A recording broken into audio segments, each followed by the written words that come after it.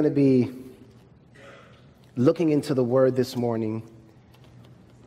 I know that it is 2020. How many of you have New Year's resolutions? Let me see your hands. Very good. Now, how many of you have New Year's resolutions that you plan to keep? Let me see your hands. you know how those New Year's resolutions can be. But today I want to speak to you about one New Year resolution that I think is crucial. And that New Year resolution is really to be a better Christian. Amen? so I'm going to invite you to pray with me as we open the Word of God and listen to what He has to say to us today. Let's pray. Heavenly Father, Lord, I ask that you would just speak to your people today. Lord, you know that I have uh, issues with my throat right now. Um, and I just pray that you would just uh, help me to speak uh, despite uh, myself.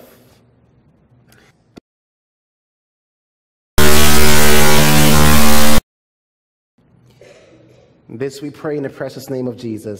Let everyone say, Amen. I want to invite you to turn in your Bibles to the book of Daniel, chapter 1. Daniel, chapter 1. I want to read to you verse. I actually have my water right here, so thank you. Um, water with oil of oregano. One time I made the mistake of announcing that I was uh, sick from the pulpit. I was preaching someplace else, and I think I had like 10 people come up on the platform to give me stuff for my, and it was all being recorded. Um, but thank you, thank you, thank you. I'm going to drink this water. Remind me to drink my water as I'm up here preaching. Okay, Daniel chapter 1, beginning with verse 1. The Bible says, In the third year of the reign of Jehoiakim, king of Judah, came Nebuchadnezzar, king of Babylon, unto Jerusalem and besieged it. And the Lord gave Jehoiakim, king of Judah, into his hand with, if you can read this part with me, everyone, part of the vessels of the house of God, which he carried into the land of Shinar to the house of his God. And he brought the vessels into the house, into the treasure house of his God. Let me pause for a moment. and here we have Nebuchadnezzar. The Bible describes Nebuchadnezzar, king of Babylon, as besieging Jerusalem and taking part of the vessels of the house of God, meaning the sanctuary. And where did he take it to? He took it to his house, the house of his gods in Babylon. I want to invite you to turn again with me to the book of Second Chronicles, chapter 36. We're going to look at verses 9 and 10. Second Chronicles, chapter 36, verses 9 and 10. It's up on the screen. The Bible says Jehoiachin was eight years old when he began to reign, and he reigned three months and ten days in Jerusalem, and he did that which was evil in the sight of the Lord. Verse 10 And when the year was expired, King Nebuchadnezzar sent and brought him to Babylon with, read that with me, everyone, the goodly what? vessels of the house of the Lord and made Zedekiah his brother king over Judah and Jerusalem. Now, you're not reading the same story here. You're actually reading that there were two times that Nebuchadnezzar went to Jerusalem so far um, and attacked the city and took vessels out of where? Out of the house of God and did what? Brought it to Babylon. Now I want you to notice with me, same chapter, verse 11. Zedekiah was 1 and 20 years old when he began to reign, and he reigned 11 years in Jerusalem. And he did that which was what? Evil in the sight of the Lord his God, and humbled not himself before Jeremiah the prophet, speaking from the mouth of the Lord. and he also rebelled against King Nebuchadnezzar, who made him swear by God, but he stiffened his neck and hardened his heart from turning unto the, Israel, unto the Lord God of Israel. Moreover, all the chief priests, chief of the priests, and the people transgressed very much after all the what? abominations of the heathen and polluted the house of the Lord which he had hallowed in Jerusalem. and the Lord God of their fathers sent to them by his messengers, rising up betimes and sending, because he had compassion on his people and on his dwelling place. But they mocked the messengers of God and despised his words and misused his prophets until the wrath of the Lord rose against his people till there was no remedy. Verse 17. Therefore, he brought on them the king account of the Chaldees, who slew their young men with the sword in the house of their sanctuary and had no compassion upon young man or maiden, old man or him that stooped for age, he gave them all into his hands. Verse 18.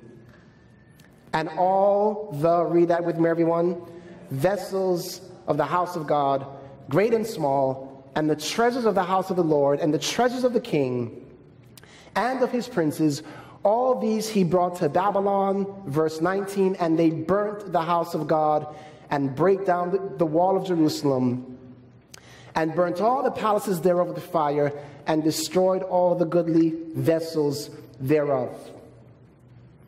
How many times did Nebuchadnezzar go to Babylon and attack it? How many times? Three times. And each time, what did he do? He took some of the vessels of the house of God and did what? brought it to Babylon. Brought it to where, everyone? Brought it to Babylon. it's significant that it was little by little that the treasures of the house of God, the treasures of the sanctuary, were brought to Babylon and held there in the house of Nebuchadnezzar's God. So, why did God allow this? What do you think? Why did God allow the treasures of his house, of the sanctuary, to be taken like this? Help me out. What do you think? To teach them a lesson. Why did they need a lesson? Because they they were rebelling. Pretty simple answer. The children of Israel were rebelling against God, and as a result, Babylon comes and takes the treasures of the house of God little by little into their own country. I want you to notice with me Ezekiel chapter 8. In Ezekiel chapter 8, verses 5 and 6, the Bible tells us exactly why this happens. Ezekiel is envisioned, the Bible says, Then he said unto me, Son of man, Lift up thine eyes now the way toward the north. So I lifted up my eyes the way toward the north, and behold, northward of the gate of the altar, this image of jealousy in the entry. Verse 6 He said unto me, Son of man, seest thou what they do? Even the great abominations that the house of Israel committed there, that I should do what? Go far off from my sanctuary, but turn thee yet again, and thou shalt see greater abominations. What was Israel doing? Why did God leave his sanctuary? Because of because of the abominations that were happening in the temple. And as a result of those abominations, God allows another nation to come and capture the temple. So, what were these abominations? I want to invite you again to turn with me to the book of Proverbs, chapter 6, verse 16. Proverbs, chapter 6, verse 16. And I want you to notice this very carefully with me. The Bible says here, these six things does the Lord hate. Yea, seven are an what? An abomination unto him. What are those seven things that are an abomination unto him? Let's find out. Verse 17. A proud what? A proud look. Let me ask you a question. How many of you have ever thought that a proud look was an abomination unto God? Like when we think about things that are an abomination unto God, this morning we were talking in Sabbath school, and you know we were mentioning a couple of things that we that people thought were abominations unto God. But many people don't realize that one of the things that God specifically calls an abomination is a proud look. what else? A lying what? A lying tongue. A lying tongue to God is an abomination. What else? Hands that shed innocent blood. Let's look at verse 18. A heart that what? Deviseth mis- well, wicked, wicked imaginations, and feet that be what? Swift in running to mischief. Now, pause for a second. I want you to see if you notice a common thread in these two verses that I just read. Do you notice a common thread about the things that are an abomination unto the Lord? I want you to think it. Can we go back to verse 17? And, and I'm going to see if I can help you here without helping you too much. A proud what? Look. A lying what? Tongue. And what? Hands that shed innocent blood. Let's go to the next verse. Uh, a what? Okay, pause for a second. Do any of you see a common thread in these two verses? The body. The body. In other words, eyes, hands, feet, heart, right? We're talking about a person. Tongue. We're talking now, now. How many of you realize that in the book of 1 Corinthians chapter 3, we don't need to turn there right now, but 1 Corinthians chapter 3, the Bible says, Know ye not that you are what? The temple of God. So if we have any temples in here, give me, just raise your hand. I'm a temple, I'm a temple, I'm a temple. Now, why did God allow the items of the temple to be taken into captivity? Because of the abominations being done where? In the temple. Because of the abominations being done in the temple, the temple was ultimately taken captive by Babylon. Are you with me so far? So, so now we look at these, what, what is an abomination unto God? And we see, whoa, a heart that devises wickedness, a lying tongue, hands that shed blood, feet that are swift to, uh, to, to mischief. In other words, God is pointing out here that, that the temple, the person that does these things, is in actuality committing abominations where? In the temple. Let me keep reading. Verse 19. A false witness that speaks what? Lies, and he that soweth what? Discord among brethren. These are the things that are an abomination unto God. And as we look back at ancient Israel and we think, man, wow, they, they, they, how many of you look back at ancient Israel and go, man, those were a stubborn people? They were rebellious. If I were in those days, surely I would have been able to identify that rebellion and I would have been one that really stood for God. Amen. Beloved, all we have to do is look at this list of abominations and realize something very important. I want to go to 1 Corinthians chapter 3 verse 16. I want you to notice this. 1 Corinthians 3:16. Know you not that you are what? The temple of God and that the spirit of God dwells in you. And now notice this next verse. If any man do what? If any man what? Defile the temple. Now pause for a second. What is it that defiles the temple?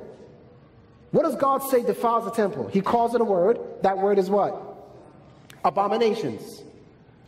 So you mean that if I have a proud look or a lying tongue or hands that are uh, uh, uh, quick or that, that shed blood or feet that are swift to mischief, you mean to tell me that I am actually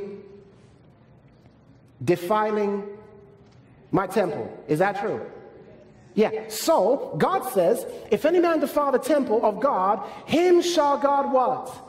Destroy, for the temple of God is holy, which temple you are.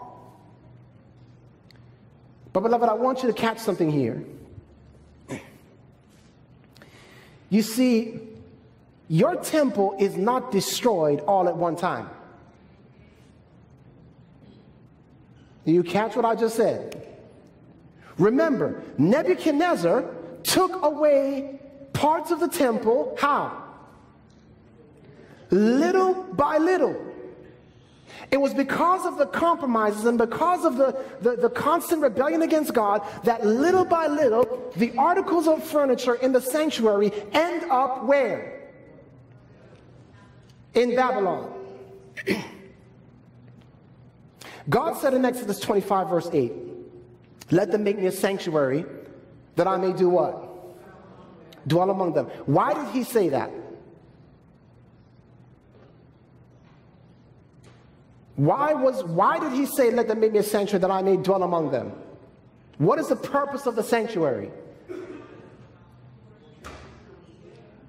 Okay, to worship God, but, but I would suggest that there is, there is an even greater and more urgent purpose to the sanctuary.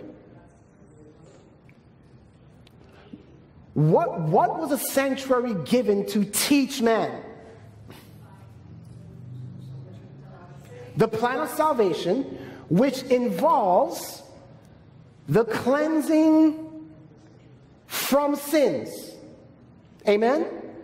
The sanctuary was given to teach man how he could dwell with God. But listen carefully why could man not dwell with God? because of what? Sin. Isaiah 59, verse 2. Notice what it says. Isaiah 59, verse 2. But your what? Iniquities have separated between you and your God, and your sins have hid his face from you that he will not hear. So, if sin causes separation from God, then God said, Let them make me a sanctuary that I may dwell among them, signifying that the sanctuary was the way in which God, the, the method by where God would cause it so that he could dwell with man. Does that make sense?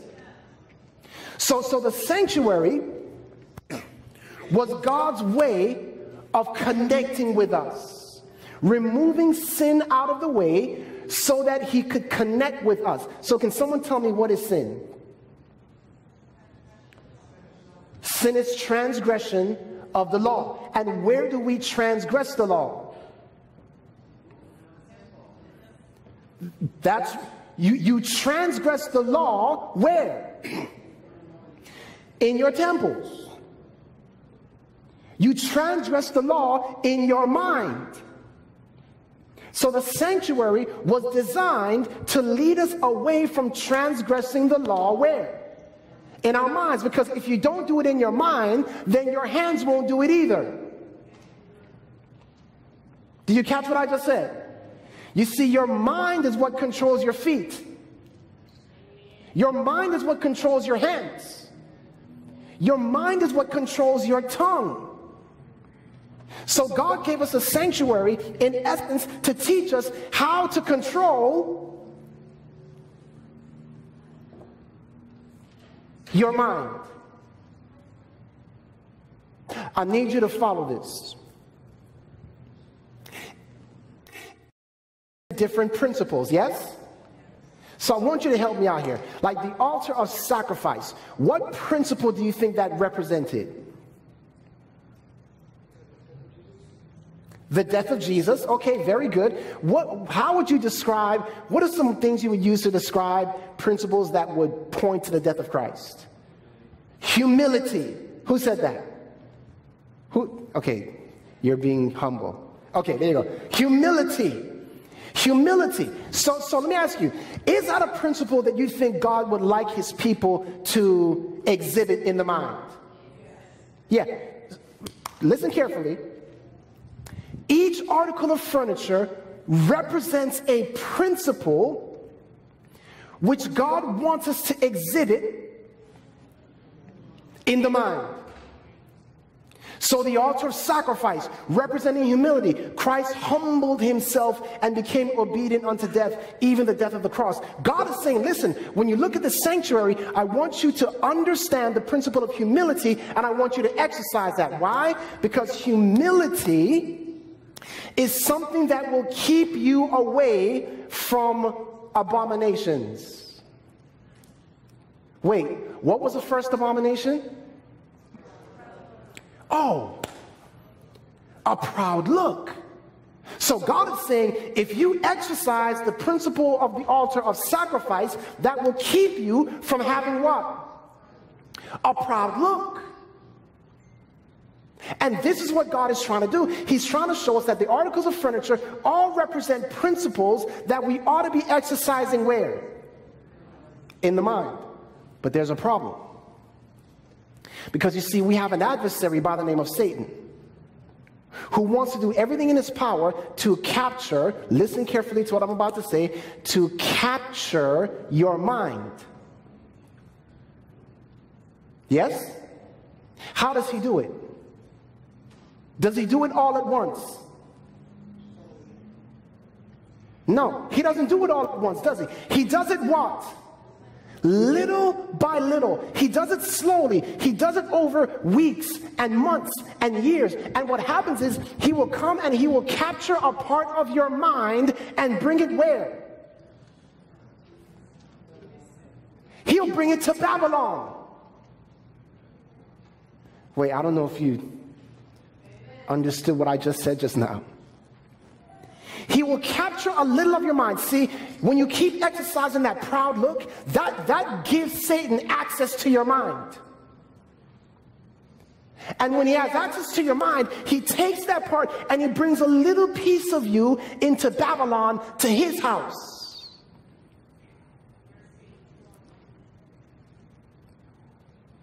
And as you continue to allow Satan to have access to your what, everyone? to your mind, what happens is he takes a little bit of you into Babylon, a little bit of you into Babylon until we get to the place where we begin to think like Babylon. I want you to understand this is what God, this is what Satan's trying to lead you to. He wants you to be captured by, he wants your thinking process to be Babylonian. If I can get you to begin to exercise proud looks, lying tongues, the more I can get you to do this is the more I'm bringing you into captivity, is the more I'm bringing you into my dominion, is the more I'm bringing you under my power. And so, as we look at this Old Testament sanctuary and how it was broken down little by little and ultimately taken to Babylon, what we're seeing here is a picture of how Satan is seeking to destroy each and every soul.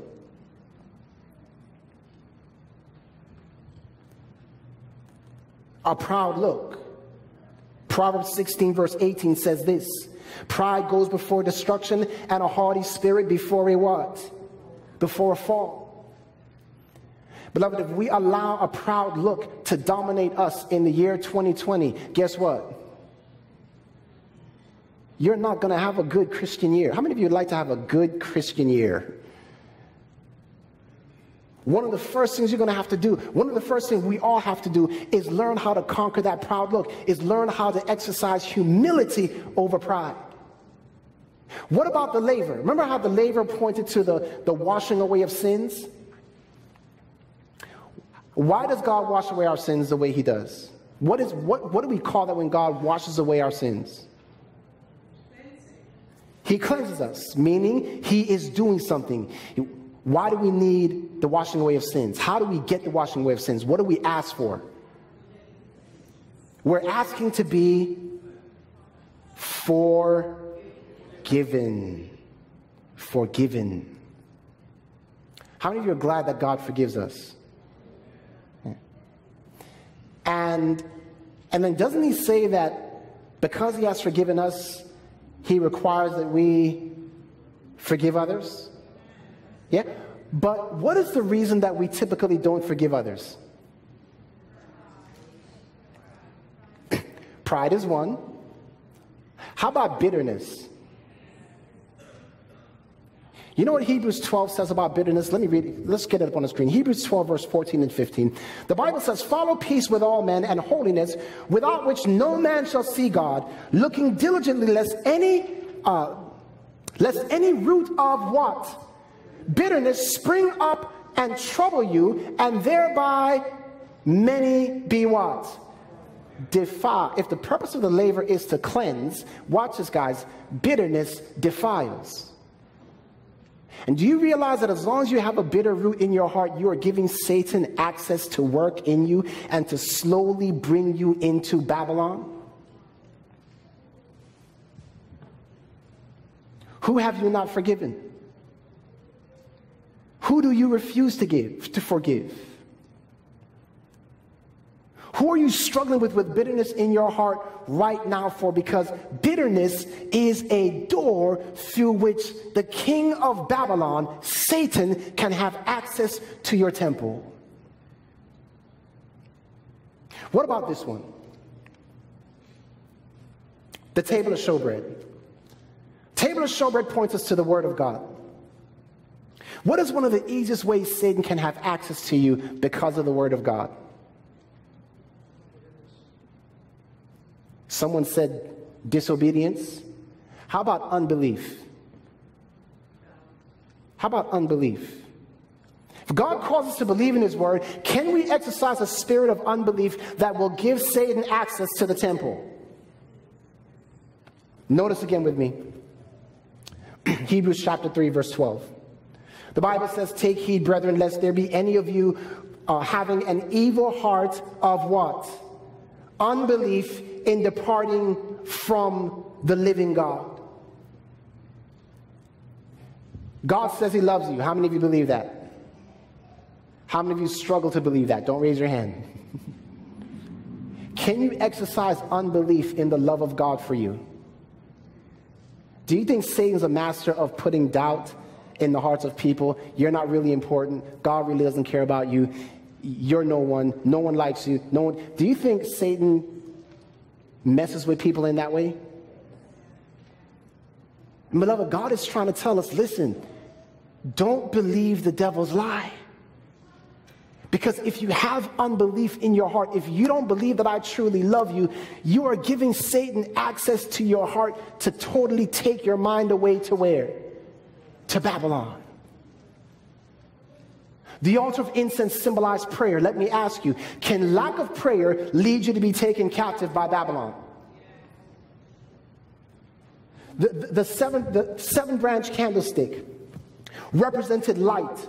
I'm going to ask you a question Can dwelling in darkness, can dwelling on, how many of you, like, don't raise your hand. When something is presented to you, you always see the dark side. Don't raise your hand. Can being pessimistic cause Satan to have access to your mind? Can you be pessimistic to the point where no matter what someone does, you know they were up to evil? like a person just cannot do good because sometimes we call that like street smarts. I know I can read people. No, you can't read people. Right? Only God can ultimately read the heart. Amen? Even the Ark of the Covenant, the Ark of the Covenant pointed to, to, to, to God's, to, to the law of God, which was summarized by one word, which is love. Let me ask you a question. Can a loveless heart be, can Satan have access to a loveless heart? You see, beloved, listen, these are the things that have either allowed Satan to have access to so many of us that we're practically living in Babylon, even though we're in the church. And God is saying, listen, if you want to, if you want to stop it, there's a way you can make a change. You can actually change the way that you do things. You can go into 2020 no longer being bound by, by the lying tongue, being bound by, by feet uh, swift to miss, or hands that shed innocent blood. You can, you can change things. You can become a better Christian for 2020. I want you to check this out. Because how many of you remember how Babylon, how um, Israel was ultimately delivered from Babylon? How was Israel delivered from Babylon? Who? Say again? I thought I heard someone say a name. Cyrus. Okay, Cyrus is the leader of the Medo Persian Empire who God rose up to do what? To deliver Israel. And I want you to notice Isaiah 45, Isaiah chapter 45, verse 1. Listen to what the Bible says here. Thus saith the Lord to his anointed, to Cyrus, whose right hand I have holden to subdue nations before him. I will loose the loins of kings, to open before him the two leaved gates, and the gates shall not be shut. Now, pause for a second. What is this talking about? What was Cy- what are the two leaved gates that Cyrus was going to open? The gates of what kingdom? Babylon. God called Cyrus on the scene and, and, and, and set up Cyrus that he would, by the way, Cyrus is called the anointed one. Does that title sound familiar? Does that title sound familiar? Cyrus, beloved, was a type of who?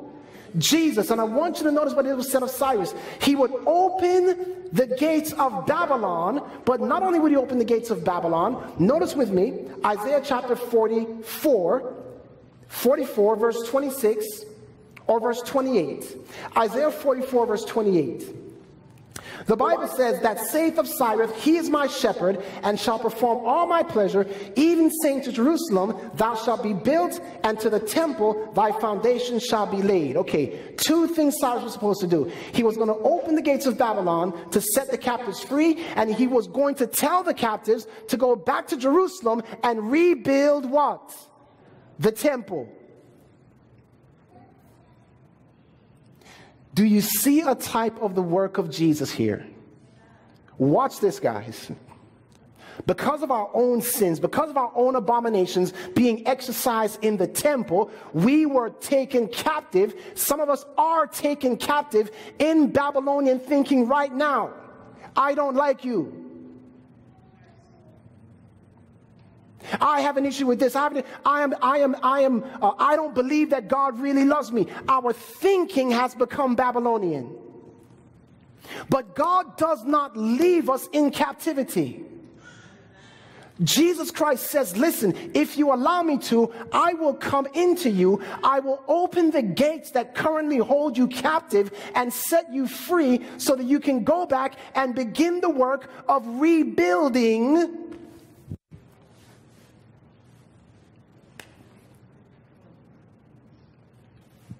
How many of you would like a rebuilt temple in 2020? I want you to think about that.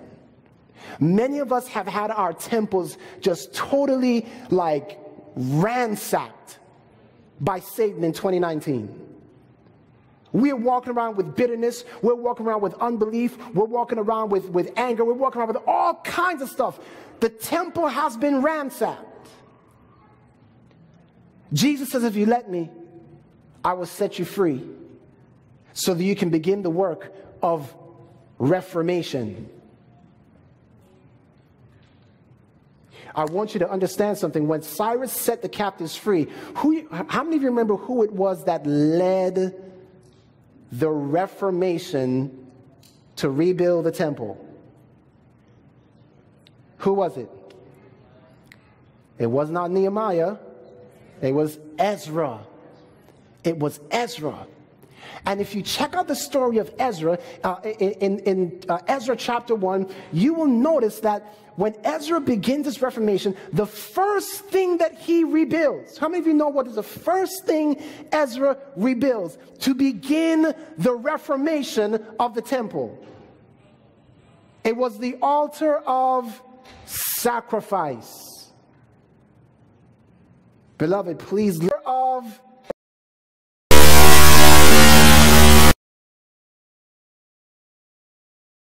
If you want to begin the work of reformation, it begins it begins with the spirit of humility. The spirit of what, everyone? Humility. Because without the spirit of humility, nothing else is going to be accomplished. Without the spirit of humility, all else fails. So God is saying, listen, if you want to rebuild the temple, the first thing that must happen is you must let me into your heart. I will open the gates and set you free, and you are going to go and you're going to begin the work of rebuilding the temple. And the first thing I want you to focus on is the spirit of humility. Humble yourself in the sight of the Lord, and He will do what? He will lift you up. Now, did Ezra have an easy, easy time rebuilding the temple? Was there opposition when it came to Ezra building the temple? So you can expect that as you're going about seeking to rebuild humility, seeking to exercise forgiveness, seeking to exercise truth instead of unbelief. When you go about doing these things, are you going to run into resistance? Absolutely. But, beloved, if you are faithful, God will complete the work in us. Amen? So, Ezra begins the work of building the temple. What is he trying to do here? What does it mean to rebuild a temple? Asking for you and me now, what does it mean for you and I to rebuild our temples?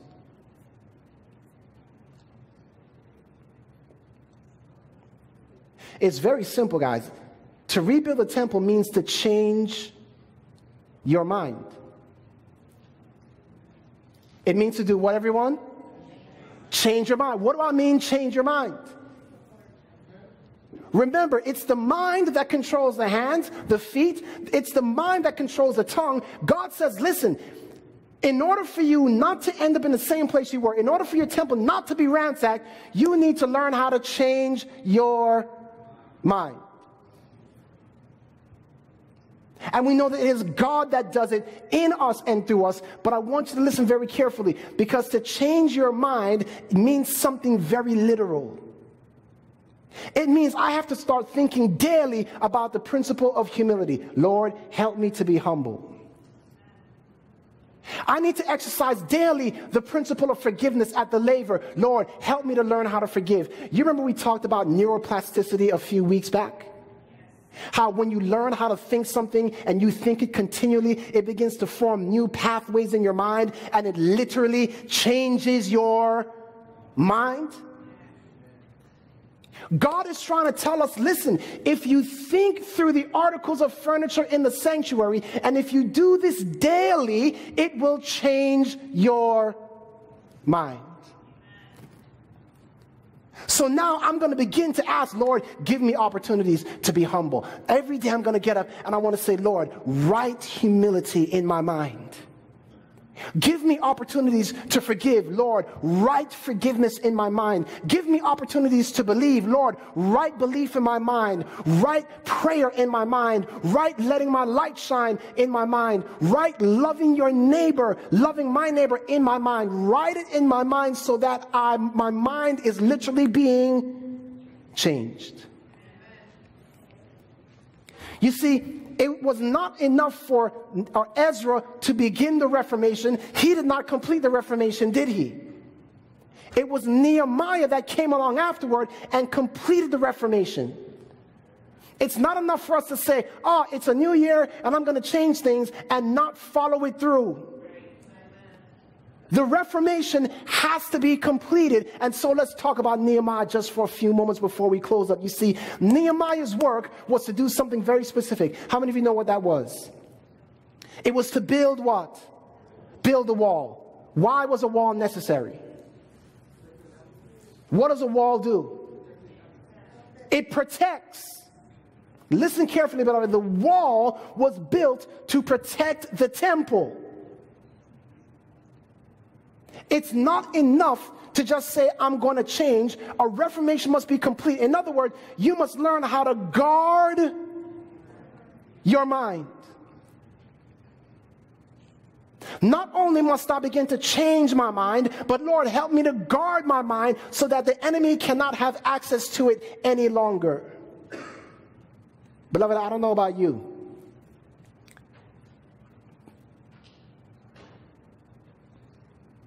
But I hate it when I know that the enemy is messing with my thinking.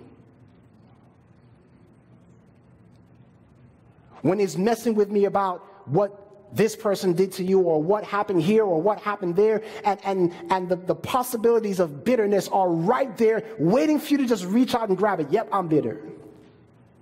Yep i'm angry Yep, I'm, I'm doubtful right now. Yep, I don't believe. All those things Satan is trying to, to put into your mind so that he can take you captive. But God says, listen, I came to set the captives free. So, beloved, what should your New Year's resolution be? Among all the other resolutions, this is what I believe our New Year's resolution should be Lord, change my mind. Change my mind.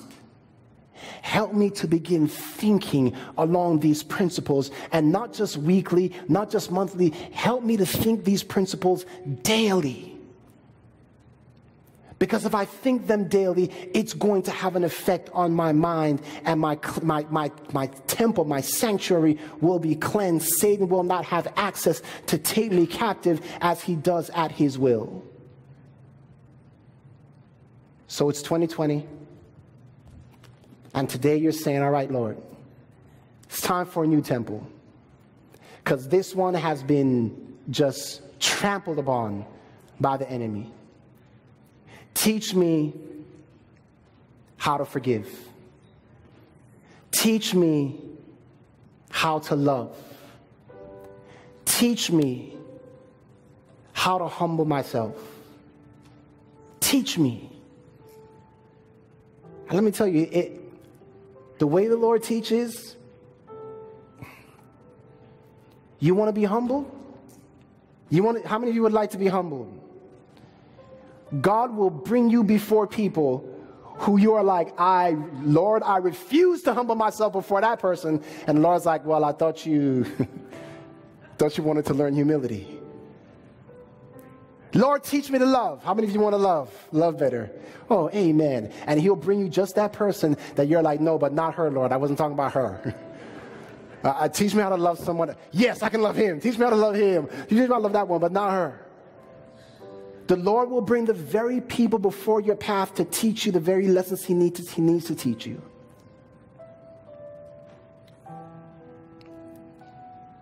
You want a cleansed temple? You have to trust the Lord. You have to trust the Lord. So, my appeal today come down to the front if you're ready. You're saying, Today, Lord, 2020, I need a new heart, I need a new mind, I need a new temple. I'm going to invite you to come down because we're going to have a special prayer. Prayer, Lord, I need a new temple. My temple's been beat up. It's time to start anew.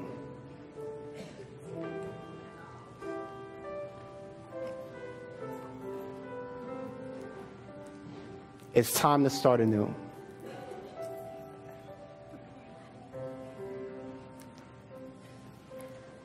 The question is do you surrender all? Will you allow bitterness to dwell in your heart? You know what a lying tongue says? A lying tongue says, I don't have bitterness, bitterness in my heart. No. A lying tongue denies the reality of the condition of your temple. Don't deny the condition of your temple. Begin there. Help me, Lord. Help me, Lord.